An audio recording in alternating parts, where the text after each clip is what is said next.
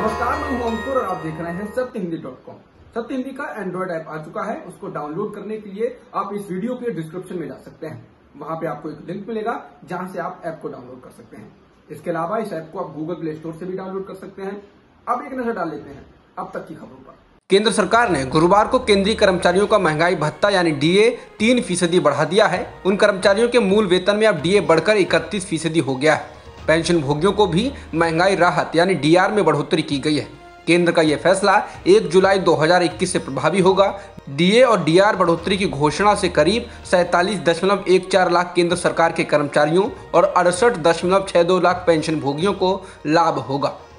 पंजाब के पूर्व मुख्यमंत्री और हाल ही में नई पार्टी बनाने का ऐलान करने वाले कैप्टन अमरिंदर सिंह ने कांग्रेस के नेताओं द्वारा सेकुलरिज्म का पाठ पढ़ाए जाने के बाद जवाब दिया।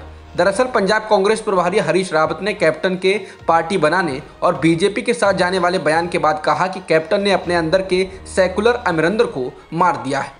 इसके जवाब में कैप्टन ने कहा कि हरीश रावत जी, धर्मनिरपेक्षता के बारे में बोलना बंद कीजिए। और ये मत भूलिए कि कांग्रेस ने 14 साल तक बीजेपी में रहने वाले नवजोत सिंह सिद्धू को कांग्रेस में शामिल किया। इसके अलावा कैप्टन के मीडिया सलाहकार ने ट्वीट कर पूछा कि नाना पटोले और रेवनाथ रेड्डी कहाँ से आए? अगर आरएसएस से नहीं आए कैप्टन ने कहा कि कांग्रेस ने चार साल तक अकाली दल के साथ रहे, प्रगट सिंह को भी शामिल किया।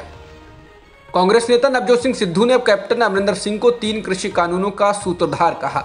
सिद्धू ने ट्वीट कर कैप्टन को कहा कि तीन काले कानूनों के सूत्रधार, जो अंबानी को पंजाब की किसानी में लाए, जिन्होंने पंजाब के किसानों, छोटे व्यापारियों और मजदूरों को एक दो बड़े कॉरपोरेटों को फ़ायदा पहुँचाने के लिए तबाह किया।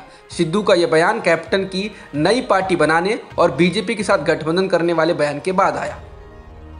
सुप्रीम कोर्ट ने किसान आंदोलन को लेकर गुरुवार को कहा कि किसानों को विरोध करने का अधिकार है, लेकिन वे अनिश्चित काल के लिए सड़कों को ब्लॉक नहीं कर सकते। सुप्रीम कोर्ट ने किसानों को सड़कों से हटने की मांग वाली एक याचिका पर अपना जवाब दाखिल करने के लिए किसान संगठनों को तीन सप्ताह का समय दिया। कोर्ट ने मामले की अगली सुनवाई 7 दिसंबर को तय की है। दो न्यायाधीशों की पीठ का नेतृत्व कर रहे जस्टिस एस के कौल ने कहा कि समाधान न्यायिक रूप आंदोलन या संसदीय बहस के माध्यम से हो सकता है, लेकिन राजमार्गों को कैसे अवरुद्ध किया जा सकता है, ये कहाँ खत्म होगा? भारतीय किसान यूनियन के नेता राकेश टिकैत ने सुप्रीम कोर्ट की सड़क को ब्लॉक करने वाली टिप्पणी को लेकर कहा कि यह दिल्ली पुलिस है, जिसने आंदोलन स्थल पर बैरियर्स लगाए हैं, किसानों ने नहीं लगाए। इसके साथ ही उन्होंने उन खबरों को भी खारिज किया, जिसमें कहा जा रहा था कि सुप्रीम कोर्ट की टिप्पणी के बाद किसान गाजीपुर बॉर्डर को खाली कर रहे हैं। इसके अलावा भारतीय किसान यूनियन के प्रवक्ता सौरभ उपाध्याय ने कहा कि हम सुप्रीम कोर्ट के निर्देश का सम्मान करते हैं। हम ये भी स्पष्ट करना चाहेंगे कि ये दिल्ली पुलिस थी जिसने विरोध स्थल पर बैरिकेड्स लगाए थे। उन्होंने कहा कि हम ये भी मांग करते हैं कि दिल्ली पुलिस जन कल्याण के लिए अब इन्हें हटा देगी। ड्रग्स मामले में आर्यन खान की न्यायिक हिरासत को अब 30 अक्टूबर तक के लिए बढ़ा दिया गया है। आर्यन खान की 14 दिनों की न्यायिक हिरासत आज खत्म हो रही थी। बता दें, आर्यन खान की जमानत याचिका को मुंबई की एक अदालत ने खारिज कर दिया, जिसके बाद आर्यन के वकील ने मुंबई हाईकोर्ट का रुख किया है, जिसकी सुनवाई 26 अक्टूबर को होनी है। इससे पहले आज शाहरुख खान आर्यन से मिलने मुंबई की आर्थर रोड जेल गए थे। नारकोटिक्स कंट्रोल ब्यूरो की टीम गुरुवार को फ़िल्म अभिनेता शाहरुख खान के मुंबई स्थित घर पर पहुँची। इसके अलावा अभिनेता चंकी पांडे की बेटी अनन्या पांडे के घर भी एनसीबी की टीम पहुँची और उनसे पूछताछ के लिए हाजिर होने को कहा गया। शाम को लगभग चार बजे अनन्या एनसीबी के दफ्तर पहुँची और यहाँ उनसे पूछताछ की गई है। शाहरुख ने आज ही मुंबई की आर्थर रोड जेल में जाकर आर्यन से मुलाकात की थी। महाराष्ट्र सरकार के मंत्री और एनसीपी नेता नवाब मलिक ने एनसीबी पर फिर नए गंभीर आरोप लगाए हैं। उन्होंने कहा कि अभिनेता सुशांत सिंह राजपूत की आत्महत्या के बाद बॉलीवुड के लोगों को फंसाया जाने लगा और इसके मामले के बाद विशेषकर एक अधिकारी को एजेंसी में लाया गया। उन्होंने कहा कि रिया चक्रवर्ती को भी फर्जी तरीके से फंसाया गया और बाद में बॉलीवुड के अभिनेता अभिनेत्रियों की परेड करवाई गई।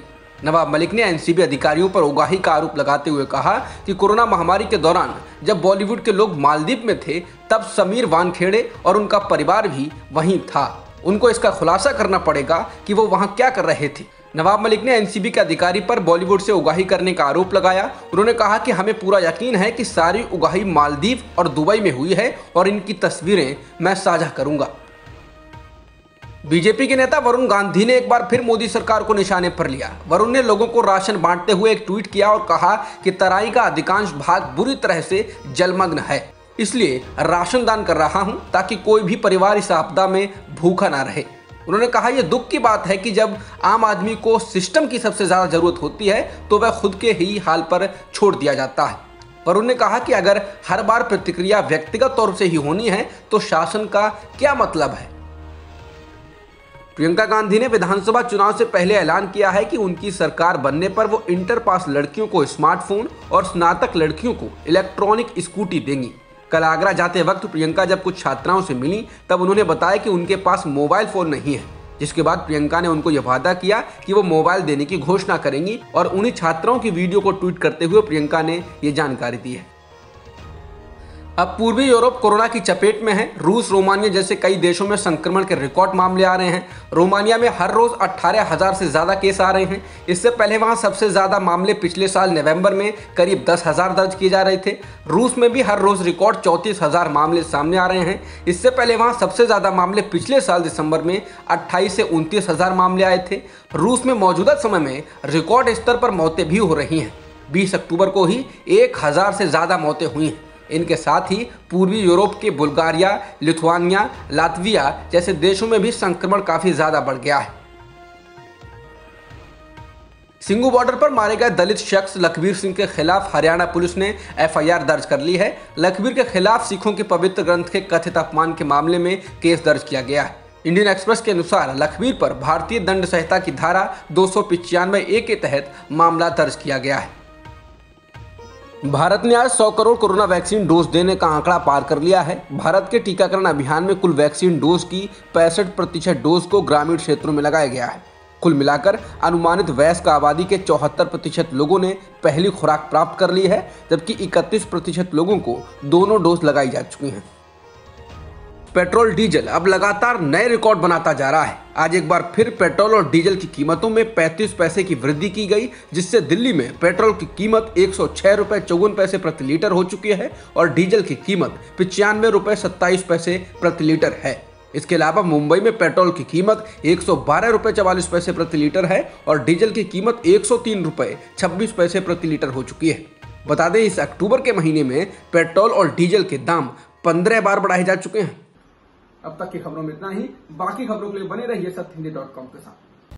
सत्य हिंदी का ऐप डाउनलोड करें गूगल प्ले स्टोर पर।